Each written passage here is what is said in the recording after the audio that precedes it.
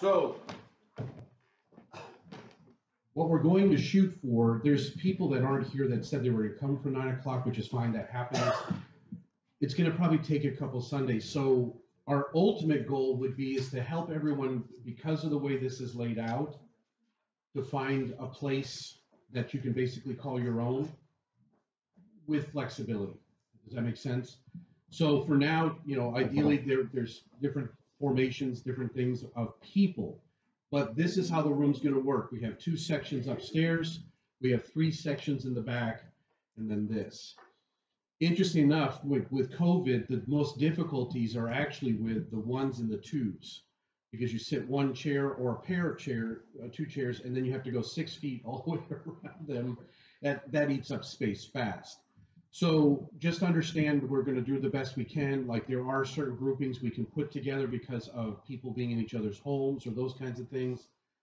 So we're doing our best to work forward. The other aspect of this, the mass side of it, um, you all did great coming in. So just a reminder, you all did wonderful in the parking. Thank you so much. Just remember to come through this front door so we can do the check-in. Just to remind you, the purpose of the check-in is just simply we have to ask, have you or have you asked yourself in your home the five questions?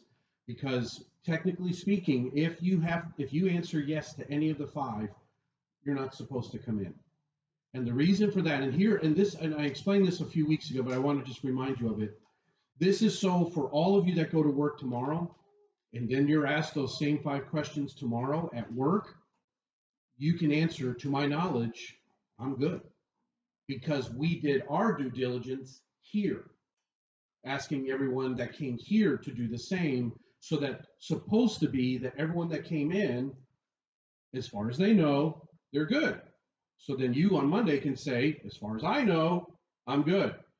And then the second purpose is the checklist is just so that if something happened, and so let's just say, for example, Nate goes to work and on Tuesday, and, long story short, he ends up, you know, he is sick.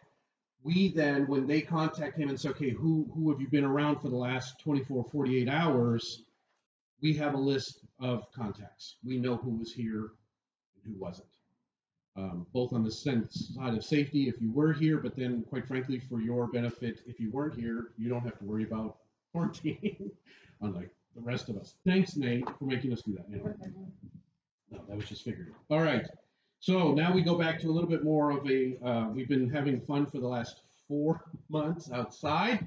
Here we are back inside. Take a quick look at your bulletins, just some things to make sure you're aware of. I haven't done this in a long time. I feel rusty. All right, uh, today at 5 o'clock, uh, if you're interested, there is a bonfire hymn sing at the Aubreys. Just uh, bring a snack, a chair, as opposed to a char. Man, back to the back to the bulletin bloopers. Um, I told Jico yesterday as I'm folding, I'm like, this is one thing I did not miss. Let me just tell you. Um, bring warm clothes and blankets, and then cider and cocoa are going to be provided. So that's tonight at the Aubreys at 5 o'clock. Uh, tomorrow afternoon, Debbie Sears, her Lady Bible Study Group, will be meeting here at the church. That's at three o'clock, and then um, Amy's study is next Tuesday at six thirty at her house, and then uh, Jika's group is next Thursday at Stacy's house at six forty-five. If you want to be part of a, a ladies Bible study and you're not right now, let us know, and we'll make sure you get hooked up with one of those. Uh, Wednesday is supposed to be prayer and fellowship, and then uh, next Sunday uh, we continue with our double services. Uh, there's some other announcements and things. Copies of the 2020 budget is there. It sounds funny that we're going to be voting on that in October. Instead, we should have done that back in April, such as life. Um, and then uh, let's see, the, church camp. If you're planning on or hoping to go, it, we've already paid for it all. So if you can just slowly start paying us, that would be great, and just make it out to the church and uh, and then we'll make sure that uh, campsites will deal with all that in the summer. But if you are hoping to go, that would be very helpful. All right, that's that. Open your Bibles to Matthew chapter seven.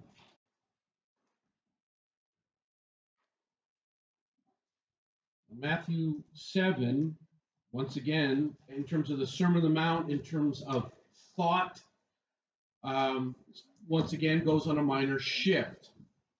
Okay? um, but it's still all one cohesive message. Um, chapter 5, chapter 6, chapter 7. Quite frankly, you all think I'm long winded. Matthew 5, 6, 7 is one sermon. I'm just saying, you know, cut me some slack. I do not take you through all of that in one setting. But, anyways, here we go. The first 14 verses of the chapter have a certain link, meaning it looks like it's a build up to basically ch- uh, chapter 7, verse. Uh, let's see, I always get this wrong. Um, bifocals are in my future verse 12, which we call the golden rule, which I'll be getting to in a couple weeks. But it looks like uh, the first 12, 14 verses are sort of like a gear up towards that. Uh, a couple of examples of what not to do and one example of what to do. So that we'll be heading in that direction. So I thought we would read the first 14 verses this morning. Chapter 7, verse 1 Judge not that you be not judged, for with the judgment you pronounce your will you will be judged, I'm sorry, and with the measure you use, it will be measured to you. Why do you see the speck that is in your brother's eye, but do not notice the log that is in your own eye? Or how can you say to your brother, Let me take the speck out of your own eye, when there is the log in your own eye? You hypocrite. First, take the log out of your own eye, and then you will see clearly to take the speck out of your brother's eye. Do not give dogs what is holy, and do not throw your pearls before pigs, lest they trample them underfoot and turn to attack you. Ask, and it will be given to you. Seek, and you will find. Knock, and it will be opened to you. For everyone who asks receives, and the one who seeks finds, and to the one who knocks it will be opened. Or which one of you, if his son asks him for bread, will give him a stone? Or if he asks for a fish, we'll give him a serpent. If you then, who are evil, know how to give good gifts to your children, how much more will your Father who is in heaven give good things to those who ask him? So, whatever you wish that others would do to you, do also to them, for this is the law and the prophets. Enter by the narrow gate, for the gate is wide and the way is easy that leads to destruction and those who enter by it are many. For the gate is narrow, and the way is hard that leads to life. Those who find it are few. Please join me as we pray. Father God, we are grateful. We have to be. We have to be grateful, Lord. There are so many places in this world that deny even the freedom or the ability to worship there are so many places in this world that will actually inflict violence and torture on those who would dare gather in the name of Christ. Father, I do pray for all of us the wisdom, as the scripture says, to understand the times, to know when to speak and even to protest and when not to, when to abide and comply and when not to. Lord, I just, I thank you that we have a building. I thank you we have property.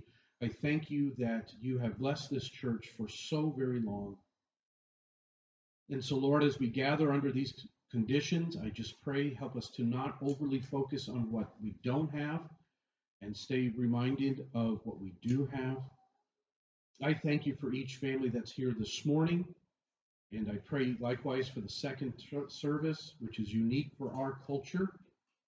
I pray for just all those this morning that are here that you would be with them and the, the different decisions and challenges that they are facing. I pray for Jesse and Jessica and the, the journey they have with their home and how they're going to proceed and then just the means to uh, to accomplish those goals and to get there. Father, I pray continued grace upon Rochelle and her recovery. I thank you that she's doing well and can even be a part of our time of worship this morning. I thank you for our students. I thank you for um, our teachers. I thank you for our medical staff. I thank you for those who just seek to serve the, the, the kingdom through the community. I thank you, Father, for all of those who uh, just each and every day strive to be faithful to you in front of whoever they're, they're walking and living amongst. Father, I pray for all in regards to jobs and um, just the uncertain future of how things are working out with COVID, uh, the concerns of elections, and then also just the potential uh, as the flu season gets stronger, will other greater restrictions come? Lord, we don't know. And it's that uncertainty that causes just uh, disruption and, and anxiety. And I pray, Lord, as we talked about last week, help us. Help us to trust you. Help us to be loyal to you. Lord God, you are the faithful, creating, providing, saving God. So, Lord, I just pray, help us to, you know, commit our way to you, and that we will continue to strive and learn how to be a church family to others, to those around us here. And just help us to be patient with one another, kind, gracious. And Lord, as we continue to work through needs and challenges, that we would look to you, be there for one another. Continue to be with Jill, Dottie, Winnie, all of those that are remembering loved ones and family that are gone. I pray for them in their mourning and in their grief. And Lord, I pray especially for Jill and Janice, just understanding that while they're grieving, there's also the, the legal aspect to this that's just going to go on for a while. And while they've been great with them, it's just going to be long and hard. So, Father, use this service time to encourage our hearts or to remind us of your truth. We pray this in Jesus' name. Amen. Nate, let's do something we haven't done in a while. Let's uh, sing congregationally where we can actually hear each other. As you get up, yeah, yeah. I could say, or just don't sing, but I don't want to actually encourage that. So, you know. so it's a singing with muffled nature. They give me permission to. Because he spits at the slide. got this thing. It is, again, Sorry, I got some of mine on there. reflecting back to last week, oh boy, the wind was like extra strong. It was like, now, and again, the blessing of coming in, i again, we've got to, there's downers, but there's some good positive things too. And I'm glad to be able to see you closer and also get to hear you uh, join us in music as we worship. And uh, again, thinking about uh, what to sing today. The first thing that popped in my mind was the hymn, Great is Thy Faithfulness. And uh, one passage of scripture that was pretty special to my dad at various points in his ministry uh, was in Jeremiah 29 11 to 13. And, you know, again, going through the Old Testament, watching the nation of Israel go up and down, up and down, turn their backs on God, and God would uh, bring some judgment and stuff like that to get them to turn back to Him. And again, His ongoing faithfulness, His love that continued to flow to them. And again, we've been grafted in as people who love Christ, and we're a part of that uh, body that will be worshiping heaven with Him. But Jeremiah 29 11 to 13 says, For I know the plans that I have for you, declared the Lord plans for welfare and not for calamity, to give you a future and a hope. Then you will call upon me and come and pray to me, and I will listen to you. You will seek me and find me when you search for me with all your heart. And one other verse that thinking in terms of our salvation in Christ, Philippians 1 6. For I'm confident of this very thing, that he who began a good work in you will perfect it until the day of Christ Jesus. As we sing, Great is thy faithfulness, you know, that third verse, pardon for sin and a peace that endureth, thy own dear presence to cheer and to guide, strength for today, and bright hope for tomorrow. Blessings all mine with 10,000 beside. And then in the chorus, great is thy faithfulness, great is thy faithfulness, morning by morning, new mercies I see. Join as we stand and sing, Great is. thy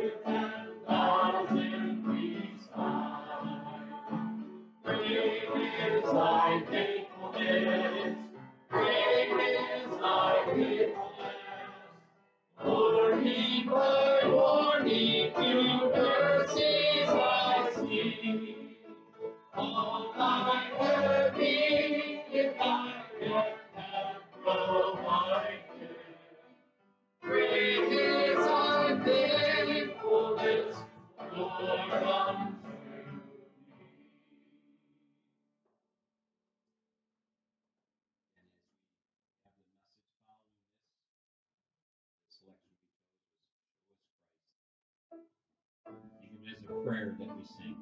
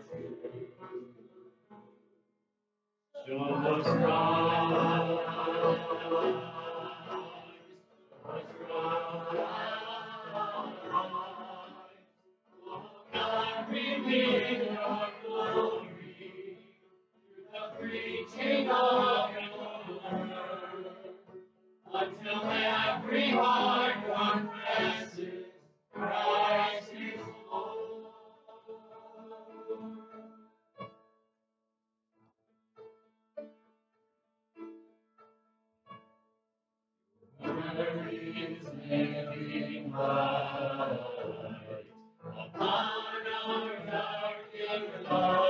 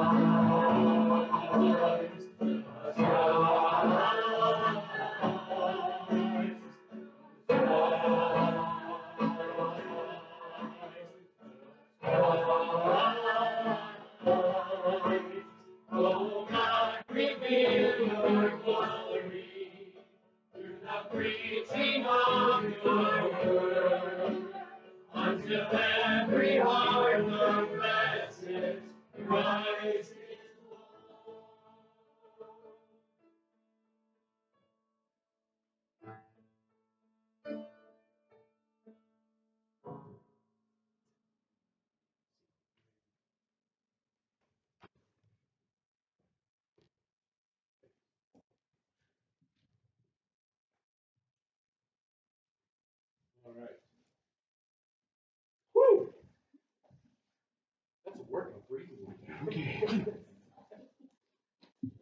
Oh, it's good for you. Good for you. All right.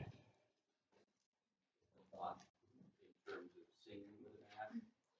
If, if the mouth is covered, they expose the nose.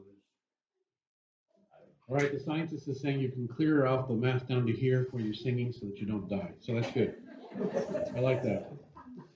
I- Well, Ryan, if you want to bring this down, my, this mic, it's the number, whatever. Yeah, just bring it down just a little bit. Okay. Back to the indoor part of it. Yeah, you just throw it in there. Okay, so good news, you're all on camera. Actually, no, you're not, just up here is on camera, but you're all been recorded. That's really great. This is for uh, some that still aren't able to come. I would, I would encourage you, pray for uh, people like Winnie. Winnie's um, immunity system is severely compromised on multiple levels, and just so understanding that that it, it would actually not be a great thing for her to come for now, uh, and so that's hard for her, and because she really would want to be here, and so and there's always others, and then at times when we're sick, so we will be posting the service on uh, the YouTube and Facebook, um, possibly a link through our webpage. So um, we're working on that part of it. We're having to re-gear up on some of those things since we've been meeting outside for so long. So that will just take a, probably a couple weeks to get smooth. All right, Matthew 7. Um, working our way through the Sermon on the Mount here, having a good time with that. Um, as I mentioned before, just it is very important, I think, for us to realize that the Sermon on the Mount is a unit of intentional singular thought. And even though Jesus offers a very wide range in a short space, different principles and elements of truth and applications, it's still important to understand that they all they all build upon each other. So I, I know I've been saying this a lot, but I just want to remind you, all of the sermon builds on the first 20 verses of chapter 5. Everything else from verse 21 of chapter 5 to the end of chapter 7 all find its support from the first 20 verses of what does it mean to be repentant and entering the kingdom of God, Matthew 4 17.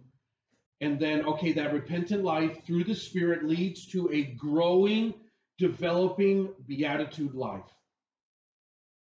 And then the question is, well, okay, what does that look like? And that's where he starts in verse 21 all the way to the end of chapter 7 and gives us different places, different parts of our everyday living and says, okay, here's what the beatitude life's going to look like. And a lot of it, I'm telling you, a lot of it's radical. A lot of it, without the Spirit, it doesn't work because I'm not capable of it. And it's okay for us to realize that, that we need the Spirit's help to live out the life God calls us to. When he says at the end of chapter 5, be perfect for your heavenly Father is perfect, it is not a declaration of, okay, you repent now you're uh, one of God's, you will live in perfection. Religion has been built on that bad teaching. And people get so frustrated, disillusioned, because they aren't perfect, and quite frankly, are either are their church leaders, and before you know it, people want to give up on the church. And it's because of bad teaching like that to say, well, it says it right here. That's why we teach the Bible here at Adamsville, because there are things that we need to make sure we understand contextually. What was Jesus telling his first listeners? He was trying to help them understand that the standard of living is to be sought after by comparison to the Father, not each other. And that's where today goes. So, the Sermon on the Mount, intentional thought, showing what any one life can become as they repent, as they understanding that repentance is a turning towards God and away from self centeredness, and start living by faith in Jesus. Ultimately, it's this idea that the character of God, the holiness and purity of God, slowly becomes the character of any of us who believe by faith. That's amazing. And it's a God work. It's not something we will ourselves towards. It's not something that, okay, I believe in Jesus. Now I will become this holy, pure person. Oh, no. It's God that keeps growing in us. And part of that is the growing affection for God. As 1 John 5 4 says, this is the victory that has overcome the world, our faith. Our faith connects us to everything else that's promised in the scriptures and helps us then live it. Through the Spirit's working, we take on the principles of the Beatitude life where they become part of our character, impacting how we engage and respond to our daily living. As Jesus gets closer to the end of this sermon and presents what we often call the golden rule, Matthew 7 12, he then offers three warnings two in the negative, one in the positive, to guide us in how we can live out that rule. So here we are at the doorstep of the first warning, and it's very simple don't be a judgmental person. So let's pray and then dig into this. Father God, I do pray for your wisdom and grace as we search your scriptures and, quite frankly, as we hear a tough saying. Lord, help us to understand that the Beatitude life, more than anything else, calls us to give up selfishness and self centeredness and self exalting. And this particular teaching today really keys in on that. So help us have the ears to hear and the willingness to wrestle. We pray this in your name. Amen. Matthew 7 1 to 2. Here's the warning it's a warning against having a condemning attitude. All right? That's this these first two verses in a nutshell. D.A. Carson says, We human beings display a vast capacity for self deception. If we take the challenge Jesus gives to strive for his holiness and righteousness at the end of chapter 5, to seek the Father's character of holy perfection, that requires a great deal of surrender, self sacrifice, and faithful humility, all accomplished only through the leading and empowering of the Holy Spirit. But here's the truth of it we can easily deceive ourselves into thinking we are pursuing holy living, God glorifying living, when in fact we cross the bridge to self glorifying living. It's not hard to start off rightly and doing something rightly and doing something for all the right reasons. And then at some point, as we've talked about over the last couple of weeks, where our motives lead us to then say, hey, look at me. It's a little bit of Peter on the water. When Peter first steps out in the water and he's focused on Jesus, he's walking. the second Peter looks at himself and goes, look what I'm doing, he starts sinking. And it's a little bit like that. The second we take our focus off of Christ and start going, hey, look at my righteousness. Look at what I did. Look at my spiritual resume. We start sinking. We cross the bridge from a right living, from a God glorifying living, to a self centered, self glorifying living. Now, don't get me wrong, you could just as easily then cross back through repentance and a realization oh, wow, I, I, I, I, I'm, I'm a little off here. I need to come back. And sometimes it happens like that. I literally crossed it once and then came right back. And at other times, I cross it, and this is what D.A. Carson's getting at, and we deceive ourselves into thinking we're still on God's side of the bridge. And by the way, let me be clear right away. I'm not talking about our actual salvation. I'm simply talking about an intentional mindset of living life for Him. Man, I'm having to get used to actually being able to see the whites of your eyes now. It, this distance thing, and now it's like, wow, you're right there. I mean, this is like, okay, whew, all right, got to get back into my uh, rhythm here. All right. So, with that being said, because we can easily deceive ourselves, we need to make sure that we understand, once again, another aspect of Jesus' teaching. So, before I move forward on what this means about being judgmental, let's be clear what it doesn't mean. First of all, it doesn't mean we should never make spirit led discernments about people who are in sin where their life fruit is black and terrible. This isn't talking about a clarity of engagement, no, of having a clear relationship with people. And by having that relationship with people, through time, through relationship, we can clearly see the fruit of their lives, the aim of their life is not for God regardless of any claims they might make, there is nothing wrong with making that discernment. It is a humble, spirit led discernment. We are to pray for godly, spirit informed judgments that ask for wisdom to see rightly any who we engage with. 1 John 4 1 says, Dear friends, do not believe every spirit, but test the spirits to see whether they are from God, because many false prophets have gone out into the world. There are those on the radio, internet, TV, all of it that you shouldn't listen to or give your time to. Now, how do we discern that? Very humbly, seeking the truth of the word and the leading of the Spirit. And it most certainly shouldn't be done in arrogance. I will, on occasion, denounce a certain teacher or whatever, but you'll never hear me demonize them. And I most certainly will not uh, call their salvation into question because that's between them and God. But I will oftentimes, yes, I will tell you people that I feel put you at risk because that's part of my role. That's as a shepherd protecting sheep. That's what I'm supposed to do. But how I do it is very important. And that's what we're talking about here. And uh, interesting, Jesus tells his disciples, stop judging by mere appearances and make a right judgment. John chapter 7, verse 24. So this isn't about removing all kinds of discerning decisions or um, in, engagements with people. This passage is not saying you can't have an opinion or you can't discern about anybody. That's not what it's saying. Okay, so then let's talk about what is it saying.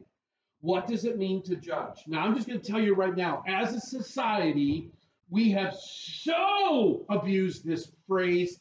I feel so judged. Oh, they're judging me. Oh, you know, ah! we don't even understand what we're saying. So let's make sure we're talking the same lingo as I go forward in this message. Based on the context, the usage of to judge, the verb here, seems to be focusing on do not be judgmental. Okay, that's using the same word. No, let's not do that. Do not adopt a critical spirit, a condemning attitude. See, this is more than just about snap judgments. This is more, although those aren't always helpful, this is more about than just about having a mere opinion, although that I will tell you is the beginning point of a condemning attitude. But this is about long term. This is about well developed. This is about having an attitude and a spirit of something that condemns and criticizes everybody and everything. Jesus says, don't be that person. If you go over to Romans 14:10 later on, some other time, uh, it's a similar. Uh, when you read in John in Romans 14, it's the exact same uh, Greek usage. Okay. If you want another passage that will help you get this, the righteous pursuit is spirit-led. It is scriptural-led. It is humility-led discernment as opposed to that the self centered pursuit is a critical, condemning judgment. So let me see if I can help flesh this out. Judgment can be viewed as simply this, although unfortunately it's actually not overly simple. Any thought, any thought from our own thinking about another that we uh, consider high and exalted, which is another no no, Romans 12 3 where we consider it high and exalted enough to then make a determination about that person. Now, here's where it gets more clear to the point where it impacts how we think of them, speak of them, speak I'm sorry, speak to them, speak about them, and all around treat them according to our self righteous conclusion. That is a judgment. Eh, there's so many phases to that. The first phase is having an opinion. And then that opinion becomes a determination. And that determination then leads to a hard drawn conclusion that I then act upon. And it's those last two that create judgment. Think of it in a court system. The judge listens to the opinions, he then makes a determination, and then pronounces the conclusive judgment. So if somebody says they're judging me, what they usually mean is they're they're expressing a critical opinion. They're saying something about me that goes against what I think of me. But that's not judgment unless that spoken word is affecting how I that I if I'm the one that's speaking that word, if it affects the way I treat you, talk to you, talk about you, that's where judgment comes in. And the reason I think it's important to make a differential is because sometimes we all will just make snap judgments. But that doesn't mean that's necessarily what I think of you. And once again, even that we get very offended by, and, and that's not always wrong, but understanding snap judgments are oftentimes simply careless moments. I think spouses, for example, run into that all the time. In the heat of the moment, in the frustration, maybe I'm uh, just this whole week, the fact that my children are still alive and my wife still loves me is amazing because getting ready for two services and everything, yeah, the bear can easily come out. You know, I just get stressed and I get worried and uh, you know, thank God for Jesus because he does help get through these things. But a snap judgment where a spouse says something real quick because they're stressed or frustrated, okay, that doesn't mean that's what they think of you.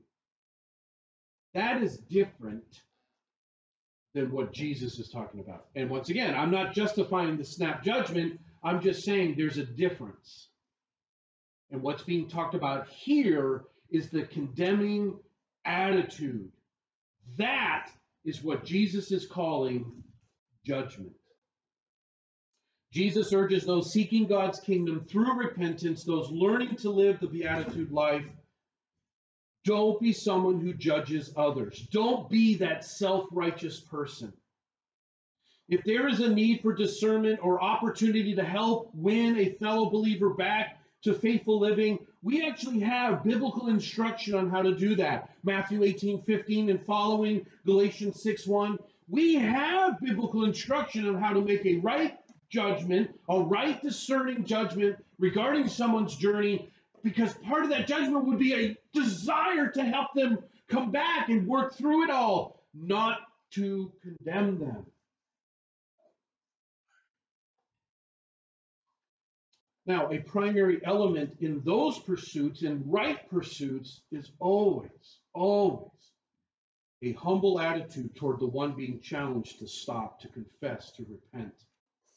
It's not about me winning or being above them, it's trying to help them. Otherwise, any attitude that looks to base the discussion, here we go, here is the key sinful element. Anytime an attitude looks to base the discussion on the comparative. Remember what I said? Jesus saying in the end of chapter 5 if you want to do a comparative, fine. Do it with you and God. Because you'll always be on the bottom end of that one. You'll always have to be challenged in your poverty of spirit and in your meekness and in your need for his hungering for his righteousness. Because the second I make the comparative one of you, I can quickly get to the condemning attitude. And a lot of times people use the condemning attitude to make themselves feel better about places that they feel bad in or weak in. So any attitude that looks to base the discussion on the comparative, generally speaking, is full of self-glory and sinful pursuits, easily, easily deceiving themselves into thinking they are doing God's work, pursuing righteousness. Jesus adds to this principle warning don't be one who judges others Otherwise, he says, you will be judged as well by God, facing the same comparative judgment in your relationships with others. Verse 2. Friends, the weight of this warning is often missed, so let me make it as plain as I can. Jesus is telling his listeners if you exhibit a character of judgmental criticism towards others, you are revealing that you are not poor in spirit, meek, merciful, hungering for righteousness, mournful over sin, pure in heart, or a peacemaker. In other words, as D.A. Carson asked the question, do we really want the standard of God's justice to be applied to ourselves in the way we are prone to apply it to others? if we are a self inflated critical judge of others. That's what Jesus is trying to warn them of. If we develop a critical, condemning attitude towards others, it reveals we are not broken or repentant. Because that's the only way to live in a critical, condemning mindset. You cannot look to God and see the glory and the beauty and the holiness of God and then condemn others. There's no way. Because the second I look to God, I realize who I am and why I need Him. And it's then easier for me to recognize we're all in the same boat. Let me put it another way that maybe will hit your buttons a little bit better. If you are determined that you know who a person is, if you are determined you know their thoughts and attitudes, if you are determined that they are not worthy of you, if you are determined you know how poor of a parent, a spouse, a neighbor, a laborer they are, if you are determined to place a judgment upon someone that affects the mercy and kindness and love God has given you to the point where you will not give it to them, all because you are determined that you know what is true about them. If that describes you, without hopefully sounding however this may sound, I pity you. Because that kind of determination takes an arrogance and takes a hardness that is beyond anything other than grace of God. I warn you, as one who cares about you, be very careful when you say in your head, I know what they're thinking. I know that they talk about me. I know that they think this about me. the second you start determining that you know something, you are no longer walking in humility. You're walking in self glorifying, self centered thinking. And Jesus says, don't do that. As a whole, the Sermon on the Mount makes it clear we do not earn mercy when we give mercy. Instead, we give mercy because we have received it from God. If we live in an ongoing attitude of haughtiness and arrogance and constantly comparing ourselves to others, determining we are better, they are lesser, then we are not poor in spirit or repentant. Now, once again, as I said earlier, I'm not talking about simple mistakes, singular bad moments, snap judgments. This principle is drawing out an ongoing attitude. And by the way, it could be an ongoing attitude towards an individual or a small group, meaning it's not that you have that attitude towards everyone necessarily. So it's a warning. This is a important warning to any of us. Matthew chapter 7, verses 3 to 5 then says, instead of judging, discern wisely your own heart and shortcomings before you engage others about theirs. So it goes from a warning to a basic principle of how to live in the beatitude life with a community. Jesus, still in the framework of judging, okay, that, that, that's where this comes from, challenges the listener how is it you can pass judgment on someone's speck, someone's white sock, and completely miss your own log? That's what he's saying.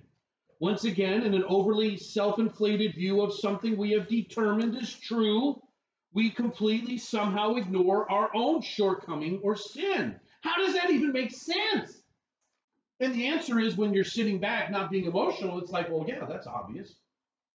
But when our ire gets up, when our critical nature gets up, and we feel bad about ourselves, we then oftentimes are tempted to go on the attack against others. This is where the self deception can come in because, friends, we need Jesus all the time. And it's because it's so easy to get uptight with people. We all can quickly get to that place of criticism and judgment towards another. Jesus is saying one way to slow that down is make sure that you recognize that you have logs. Now, once again, I love the phrasing of this. You hypocrite, first take the log out of your own eye and then. See, it doesn't say we have to be perfect to engage each other on growth. That's a good thing. Otherwise, I would never have had the right to teach my kids.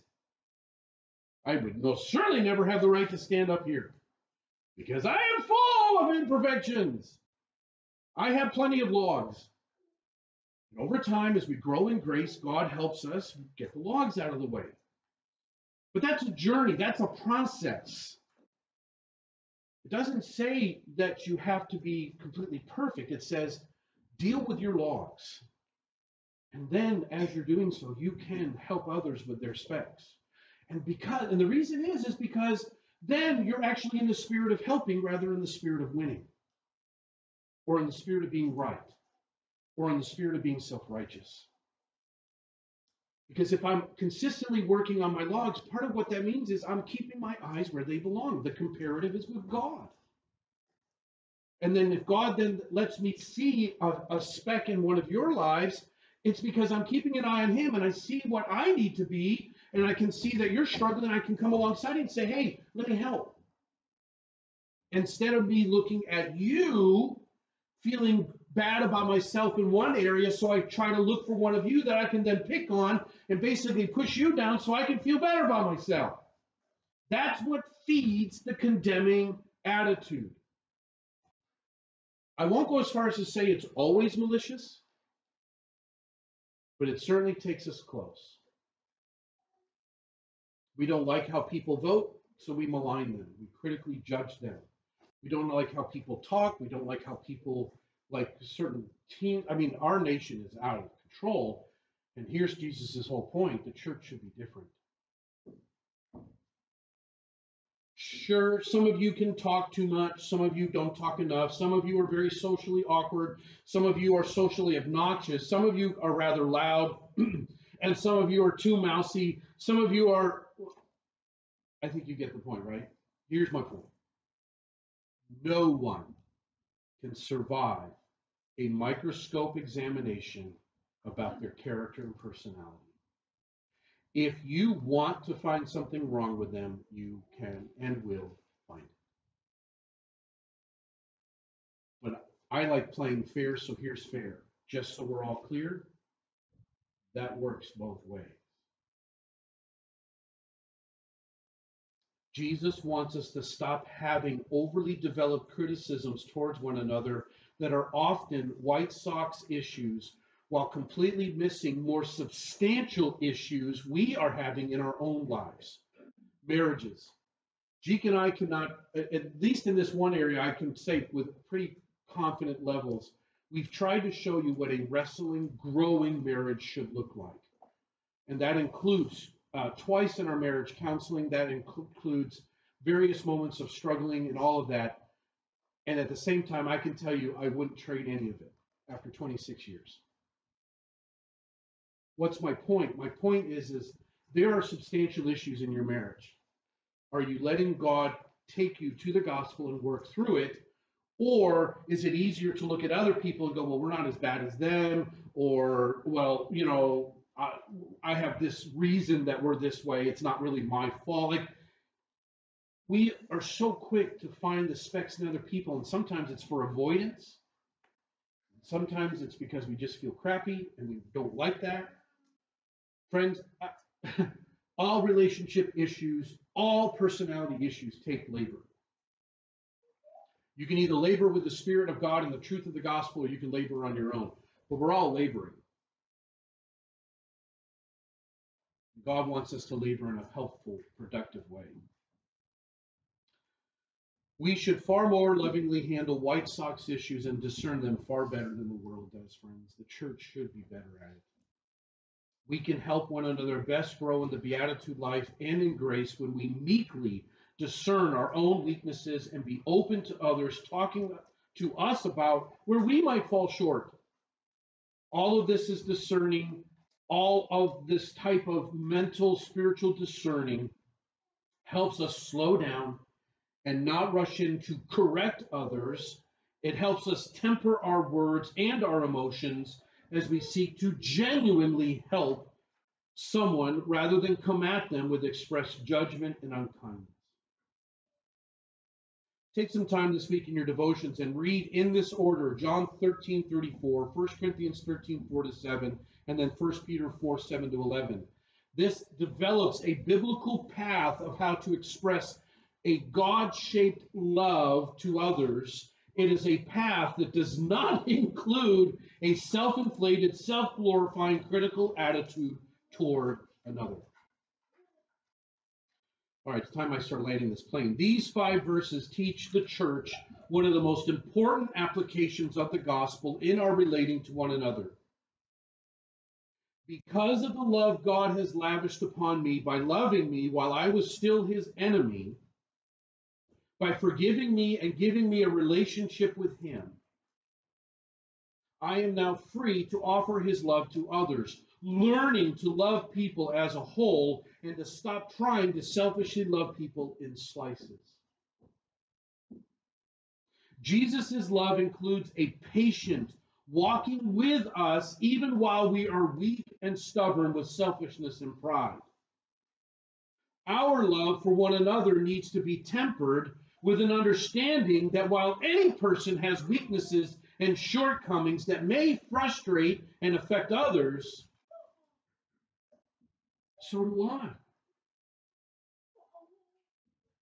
It's not that we just put up with weaknesses and shortcomings. It's that we humbly realize we are all contributing. We are all contributing to relational brokenness. Therefore, we have a responsibility to seek forgiveness from others, to work at our weaknesses and shortcomings, to be patient with others in the midst of their expressions of weakness. And above all, a motivation to help one another reconcile when selfish weakness has been expressed, and oftentimes by both parties. Not always. When people develop an opinion of me, or any of us, okay, in most cases it's with incomplete information. That's that's the thing that makes me smile and snicker when people uh, express opinions about others. Nine times out of ten, most opinions people have of another person are are at best 60 70% full. Nobody, nobody in this room has the ability to read or know anyone 100% up here. That's impossible. Only God knows the heart. Only God knows someone completely. I don't care if you have the personality that actually is gifted to see and whatever like that. I'm telling you, nobody has a complete picture of anybody. That right there should give us pause. That should help slow us down. But here's the thing those incomplete opinions often are developed through a filter which includes their own insecurities, their own pain, and their own brokenness. So, therefore, their opinion will often be overinflated, either in the positive or in the negative. The problem gets worse, however, when they often then express that opinion, and if that opinion develops into a conclusion, which they base on how they treat me, it becomes judgment. Here's the thing Jesus says to all of his followers, Why? Why give the emotional energy to have such a judgment? What motivates others to not only have a judgment, but here's where it even goes worse to then start to get others to share it. For Christians, what purpose does that serve? Let me give you a very quick example to end with. Terry. Terry is a fictional person, just so you know. Terry is harsh, loud, and even possibly mildly violent. We've been around him when he speaks, when he expresses his temper, when he has almost hurt someone. And in those moments, we have a choice. Do we develop a judgment about him that affects our attitude and response to him, or Do we see him as Jesus does and try to humbly help him see his sins and shortcomings in such a way that he turns to the gospel for help and healing? Pastor, isn't that being a little idealistic? Yes, it is. And by the way, helping someone doesn't mean you ignore certain things. It doesn't mean you don't have boundaries. It doesn't mean that you aren't safe. My point is, is what's what's going on in here. I can protect myself from someone who is uh, relationally, behaviorally out of control. I can protect myself and still try to help them and not hate them here, to not judge them here. Now, once again, is that an act of Ken? No. That would be an act of the Spirit in Ken. Helping me work through that. I am simply here to warn all of us when we give permission to an attitude of critical, condemning judgment towards anyone, we are calling down upon us the same means of judgment from God. So I am trying to help all of us understand that developing and acting upon judgments will get us nowhere helpful with anyone. If we are going to be God's representatives before the lost world, then we have to see and approach people not with rose colored glasses, but rather with honest glasses that see, first of all, our own sins and shortcomings and those of others, where our attitude is tempered by our understanding that we are just as guilty as anyone else to relational brokenness. And when we go to help, it's not to win, it's not to be proven right, it's not to beat someone down, even if they deserve it, but instead to help them meet Jesus and find real love, real help, and real purpose. Our role as disciples of Jesus is to show people what real hope looks like within our relationship. A hope of honest, open, safe, discerning, loving community within our homes, in our church. Friends, we just can't do that if we are too busy expressing critical, condemning judgments on those who do not match up to our selfish view of how things should be. Jesus is calling us to be different in the world by being more like him and seeing people with eternal eyes. For me personally, I believe these five verses are some of the most important verses the modern church in this country need to study, meditate upon, and take to heart. Because the temptation to be like the world is huge in this area of, of critical condemning speech. And it's only worse right now because you can actually do it in three seconds with your thumbs. And I would urge all of us to take heed to the warning Jesus offers here. I would just say it this way we all have far more opinions about things that actually, eternally speaking, don't matter a lick. And the question really comes down why do we spend so much energy on it? Father, I pray, help us with this teaching. Help us to take it to heart and to let your Spirit show us either the people or the places we might be tempted to be condemning with our hearts and minds and words. Lord, help us to not be a people that waste gobs of energy on, a, on empty opinions or critical judgments, but rather to let your Spirit continue to open our hearts and minds to our own sins and shortcomings, to let you grow in us in such a way that we are actually more able to humbly help others for the sake of your kingdom. And so it is this we pray in the name of Jesus. Amen. All right, so this is where one of the biggest places it's going to be different, and a lot of us are not going to like this. And I have to say, those of you that come at nine are getting the short end of this straw. You have about 10, 15 minutes to visit. And what we need you to also do is actually slowly keep working your way to, at the very least, this room to visit so that we can prepare this area for people to start coming in. So I, it doesn't mean you can't visit it all. I'm just saying over the next, I'd say about 10 minutes, slowly start working your way to these doors and go heading out this way. You'll have to get your mask back on. unless you want to talk to each other across the room, but that kind of gets hard. And unfortunately, that's the way it's going to have to be for a little while at least. I'm truly hoping and praying, as Nate and I were talking, a short season of life for our church at this time. So I am really glad you're able to come out this morning. I hope it blesses and encourages you. And friends, just understand tomorrow and Monday, not only is the Spirit of God ready and willing to walk with you, but so is the temptation, the self centeredness, and flesh. Start your day and go through your week grabbing a hold of God and asking Jesus to walk with you because that is what gets us through because these days are not easy. Love all of you. Truly a blessing to have you here this morning. Have a great week.